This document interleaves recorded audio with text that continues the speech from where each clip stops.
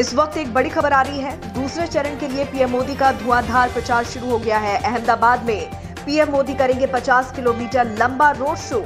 नरोदा ग्राम से गांधीनगर दक्षिण तक पीएम मोदी का रोड शो होगा। 16 विधानसभा क्षेत्रों से गुजरेगा पीएम मोदी का रोड शो।